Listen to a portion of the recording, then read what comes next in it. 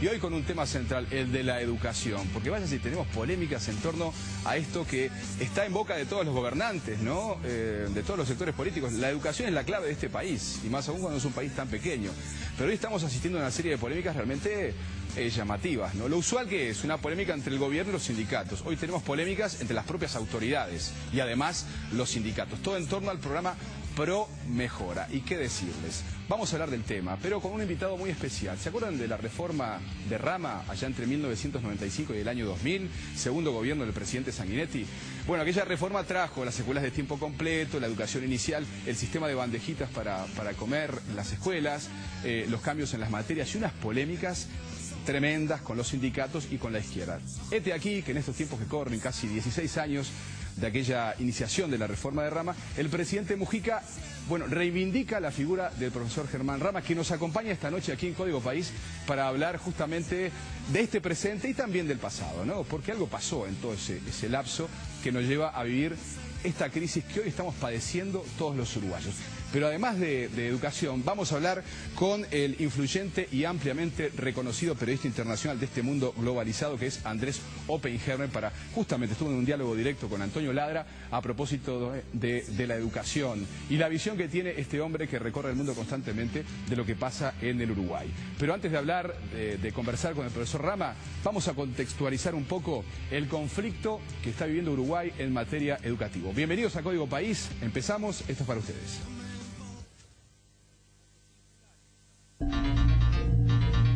El martes, el presidente del Codicen, José Sioane, puso su cargo a disposición.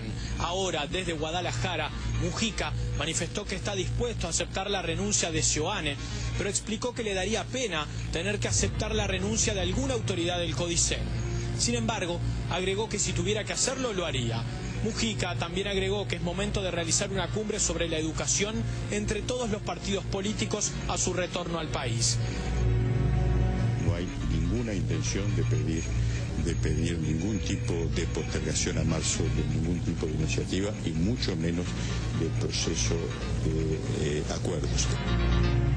Tengo que decir como el inglés aquel que le avisaron un viernes que se estaba prendiendo fuego la fábrica de él. Y dijo, qué amargura me voy a agarrar el lunes cuando esté. Bueno, a mí me pasa lo mismo. El lunes veremos qué amargura me agarro con eso. ¿Le preocupa lo que está pasando? Porque toda la discusión también se da en el sector, en el MPP. Sí, sí. Todos lados se va. Yo tengo mis ideas. Tiene sus ideas. ¿Cree que se va a solucionar? ¿Tendrá que, sacar a, alguna autoridad? Para adelante. Para mí, se sale para, para adelante, no para atrás.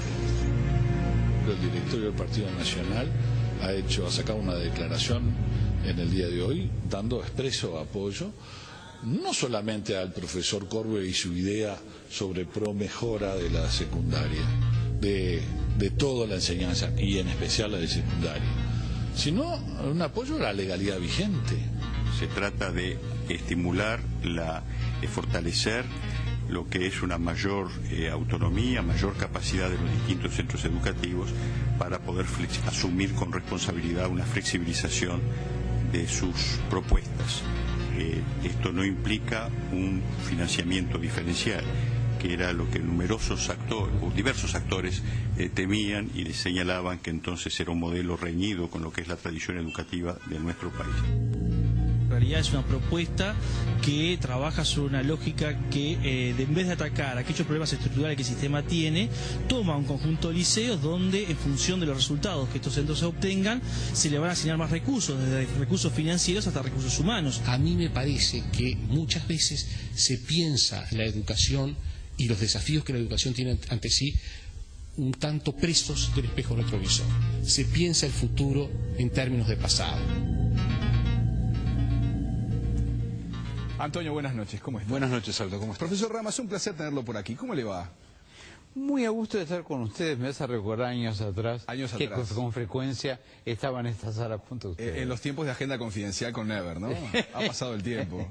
Eh, profesor, ¿usted está radicado en Suiza actualmente? Eh, efectivamente, es decir, mm, estuvimos con mi esposa primero en París eh, tres años sí. y después, porque trabajaba en un proyecto de la UNESCO ella, Y yo tenía mis relaciones con la Escuela de Altos Estudios en Ciencias Sociales, donde me formé como profesor Alenturén y fui profesor también.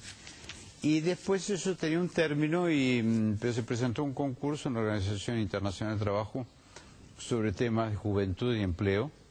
Y ahí estamos desde hace un año largo Y casi. cada tanto usted tiene que ir a París para eh, aportar su- sus conocimientos Sí, académicos sí, en la sí. Además, eh, como diríamos, eh, cargar las, las baterías, ¿no? Recargar, Eh, para no, no, no perder la costumbre. No perdamos. Profesor, eh, vamos a- a- al, al punto, ¿no? ¿Cómo está viendo usted el conflicto que existe actualmente en nuestro país, con enfrentamientos de autoridades entre sí, también con los sindicatos? Todo esto a partir del plan piloto Pro Mejora, que le está proponiendo mayor autonomía a, a algunos centros de enseñanza para el próximo año. ¿Qué le parece lo que está ocurriendo? Mire, me da mucha pena, ¿sabe? Me da mucha pena por los, por los chicos, por los estudiantes. Porque en este, cuando hay conflictos, huelgas y hay quienes paralizan la educación, los que pierden son los muchachos que se están formando, las nuevas generaciones.